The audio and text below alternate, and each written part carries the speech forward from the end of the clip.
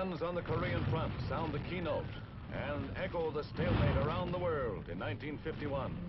More than a million red casualties and 100,000 allied marked the second year of conflict which saw General MacArthur relieved of his post as Commander-in-Chief of the Far East, raising a storm of controversy over the nation.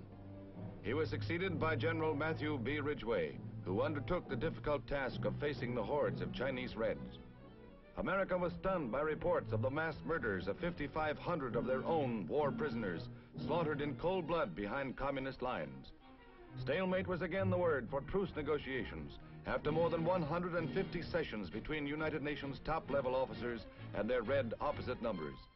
The only conclusion reached definitely in the tent at Panmunjom with the communist representatives was the establishment of a buffer zone two and one half miles wide, extending along the present battle zone above the 38th parallel.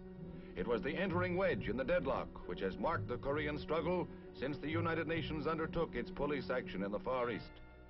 On the brighter side of the Asiatic picture was the official ending of war with Japan, with the side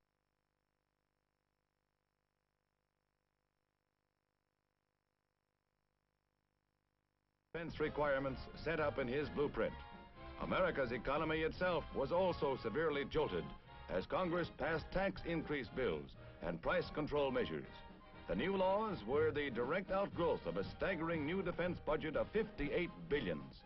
In a world of unrest, Americans shouldered an additional burden in the struggle between East and West, where the race for atomic weapons assumed new proportions and guided missiles took on